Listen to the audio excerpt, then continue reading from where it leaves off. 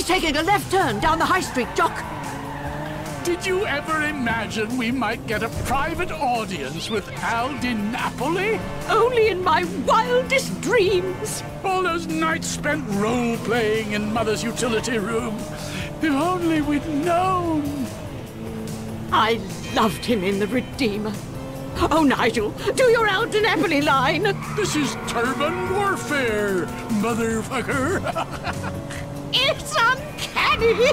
oh dear. Poor Jock must think we're batty. Oh, don't be silly. I hear that behind his charitable public face, he's remarkably right-wing. One cat. Oh, my word! Jock! Do you see that lorry? What the fuck's a lorry? Have a little faith. Anyone think this was my first kidnapping. What on earth will we feed the man? I hadn't even thought of that. He probably eats sushi or quinoa. Is that even how you say it? What if he wants meth? Don't get flustered again. Maybe I should have driven. Don't get flustered again, Nigel. You'll have... Find out! He's going into the car park. The car park? No worries, mate. Oh, I hope he likes us. How could he? Oh. How could he not? This lockup you've prepared sounds charming. Just be yourself, Mrs. Thornhill.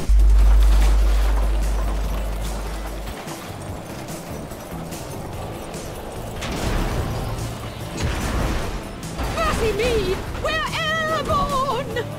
Oh, my giddy aunt! Is everything okay there, Earl Crazy Cakes? My prostate has taken quite a beating. Do you have to lower the tone? Don't go crazy. We prefer him in one piece. Oh, yeah, nobody here go crazy. Heaven forbid. This level of derangement, I'm impressed. Little by little, I'm tiptoeing.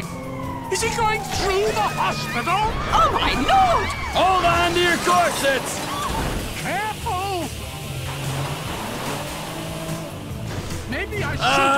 Seems rude not to follow him through the window.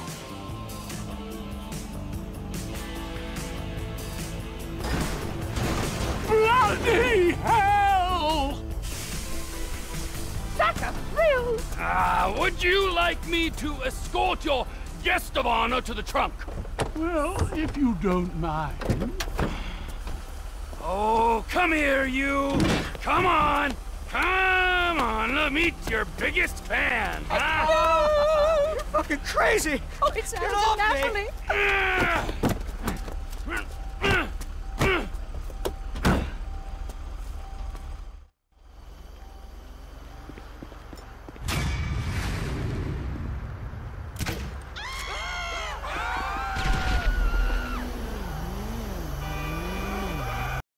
Popping bottles.